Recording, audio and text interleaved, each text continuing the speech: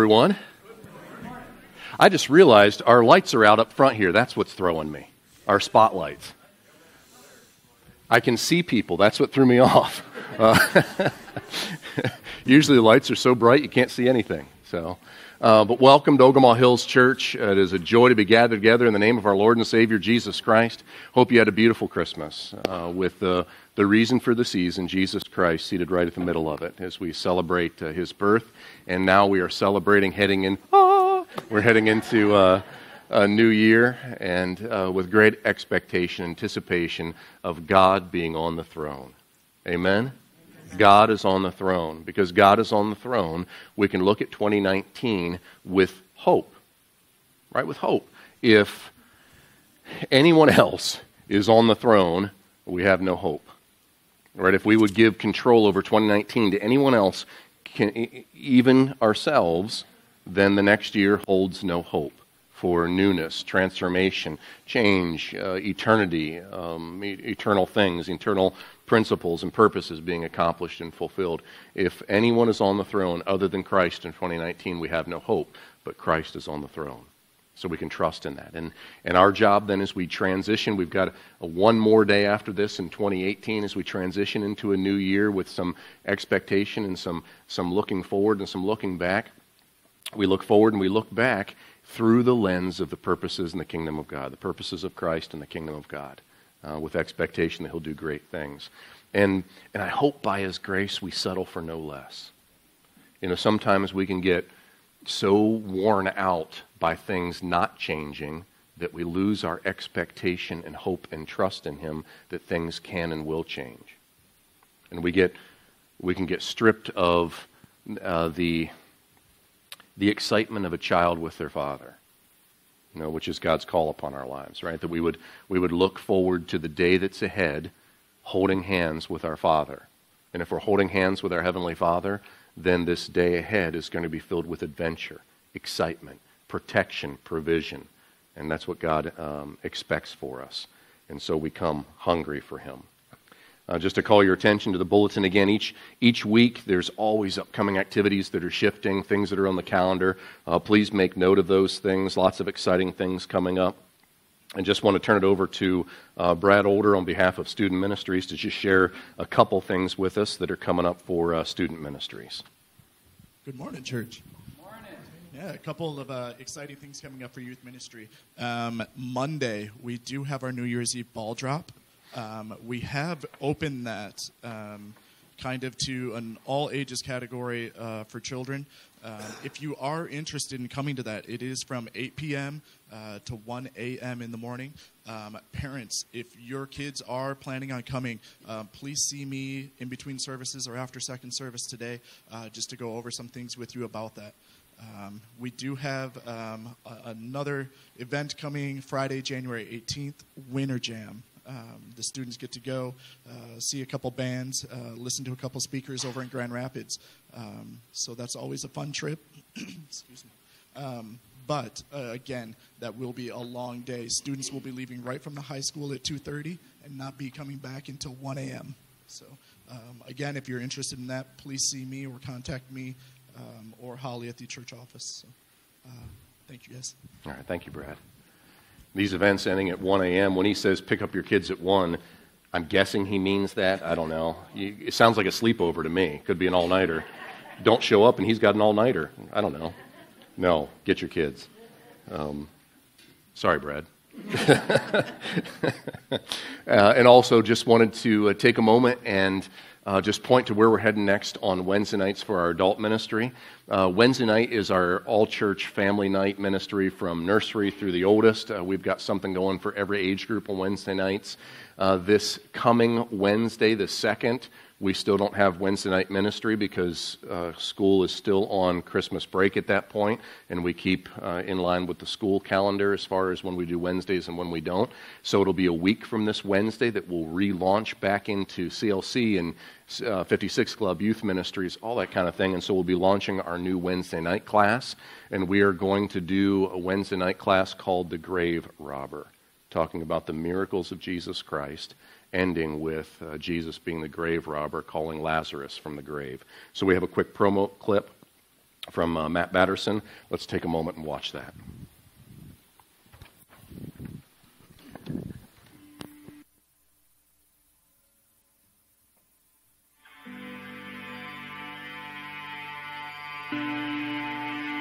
Jesus was more than a master carpenter. He was also God incognito. 34 distinct miracles are recorded in the Gospels, but John's Gospel spotlights seven miracles.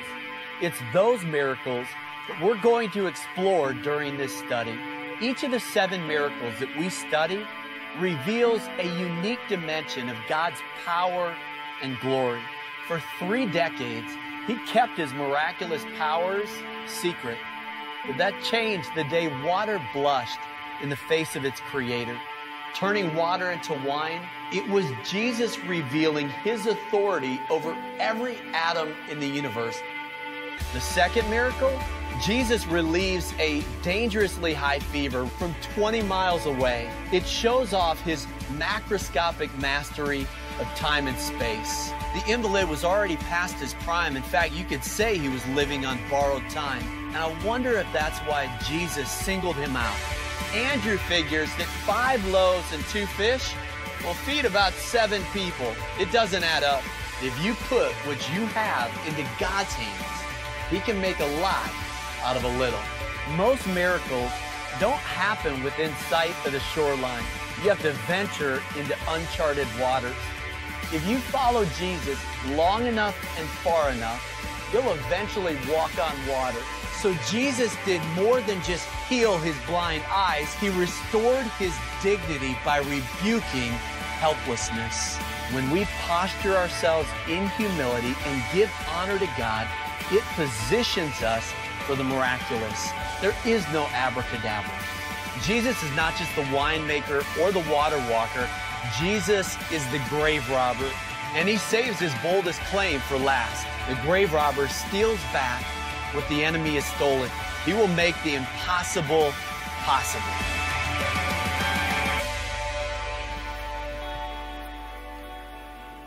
So, we're going to spend seven weeks uh, looking through this study and just inviting God to be supernatural in our lives as we look to Him and trust Him and seek Him. We don't seek miracles, we don't seek the supernatural, we seek Him.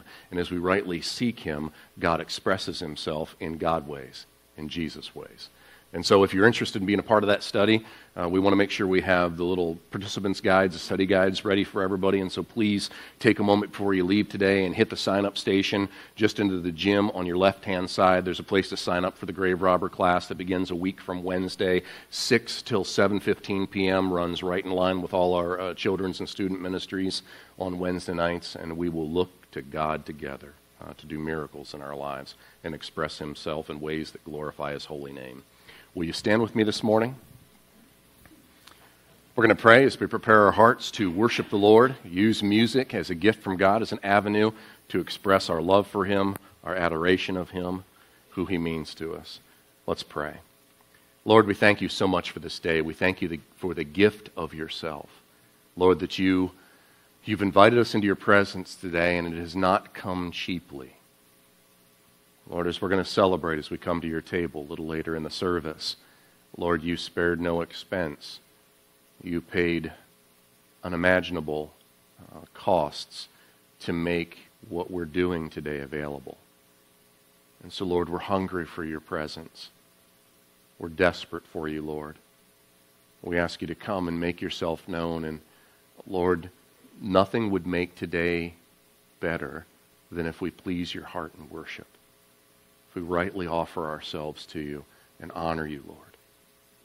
So we come to you not based on ourselves or based on our, our abilities or anything else, Lord. We come to you with open hands, just offering ourselves to you freely and wanting to receive from you because we need you.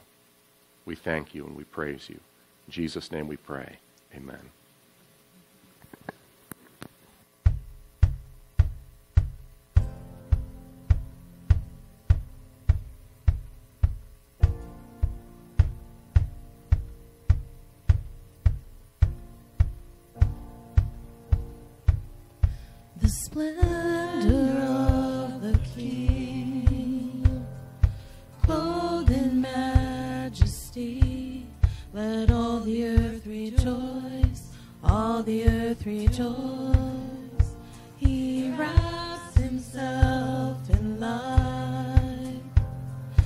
Darkness tries to hide, and trembles at his voice, trembles at his voice.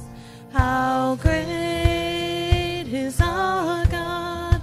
Sing with me, how great is our God, and all will see how great, how great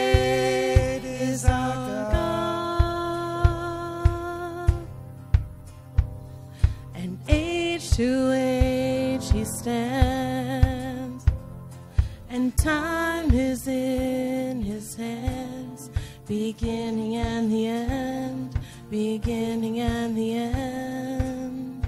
The Godhead three in one.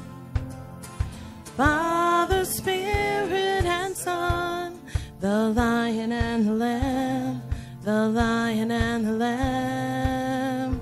How great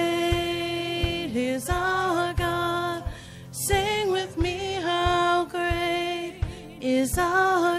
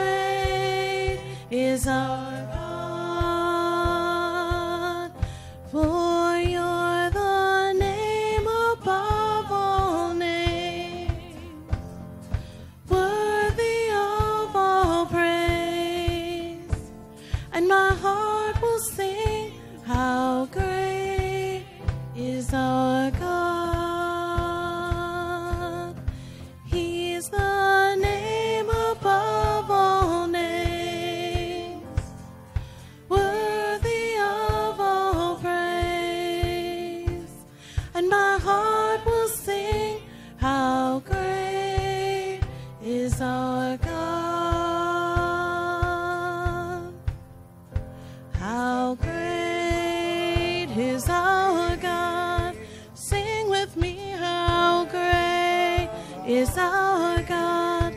And all will see how great, how great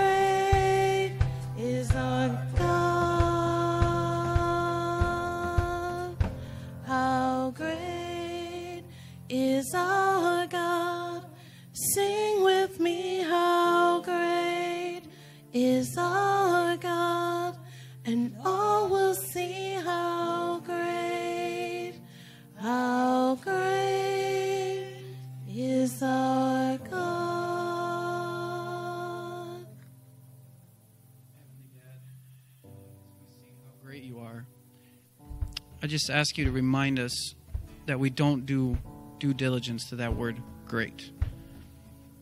We use that word on a daily basis, but when we say you're great, your greatness is you spoke and the universe happened. That's great. You're great. You beat death. That's great. And today we're all here because you're great. So thank you so much for that, Lord.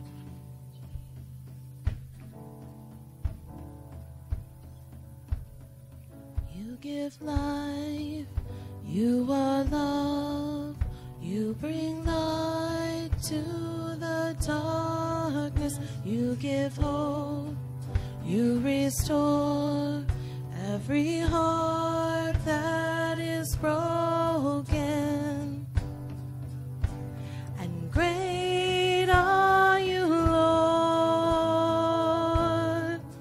It's your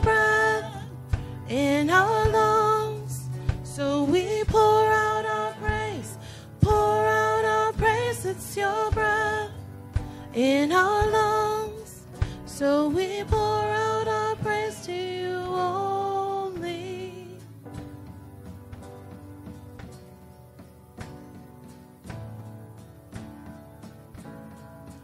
You give life, you are love, you bring light to the darkness, you give hope, you restore every heart that is broken. And great are you, Lord. It's your breath in our lungs. So we pour out our praise, pour out our praise. It's your breath in our lungs. So we It's your breath in our lungs. So we pour out our praise, pour out our praise. It's your breath in our lungs. So we pour out our praise to you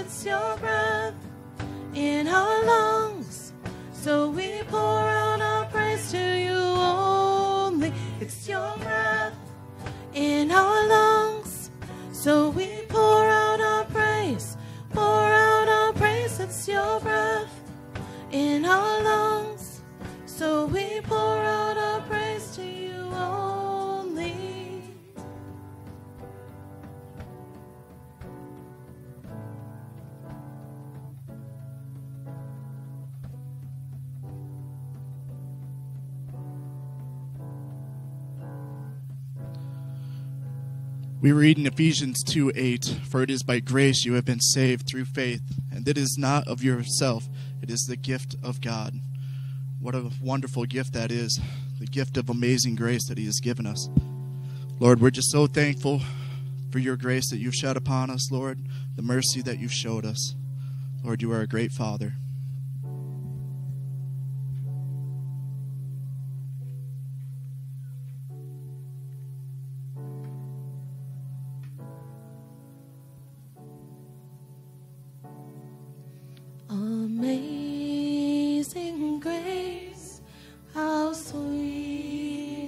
The sound that saved Saved a wretch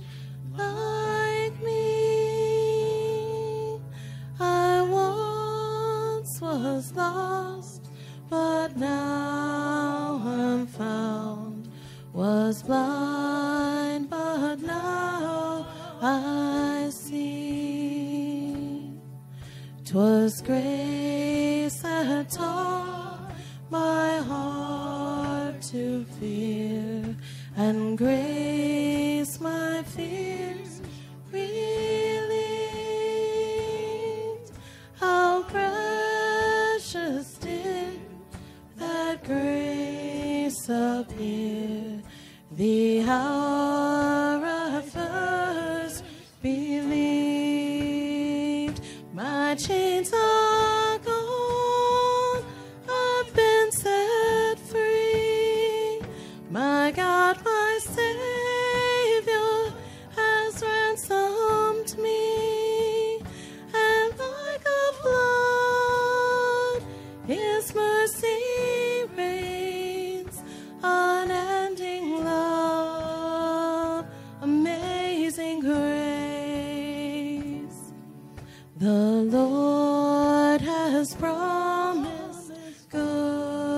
to me. His word, my hope secure. He will my shield and portion be as long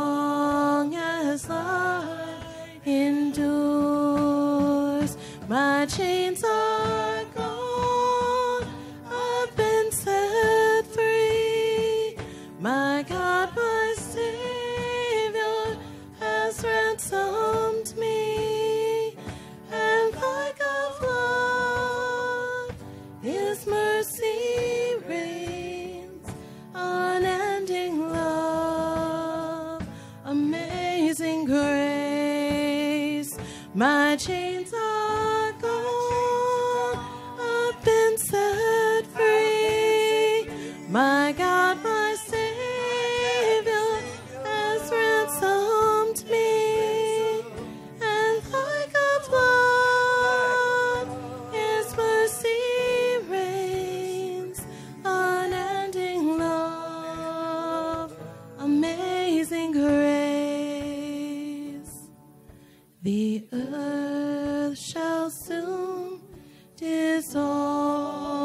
like snow. The sun forbear to shine,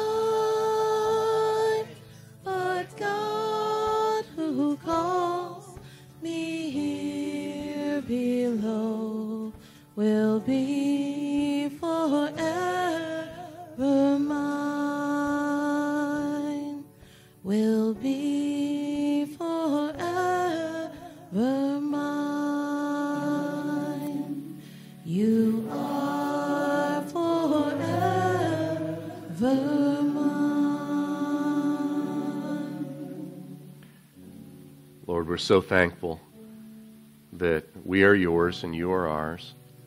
Lord, that we know you now and forever. Lord, we thank you for your amazing grace.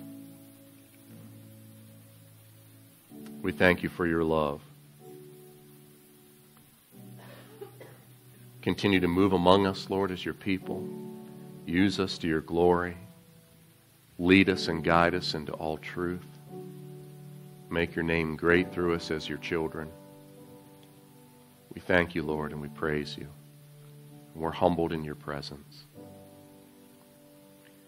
God, as we give this morning the offering, Lord, we give as worship.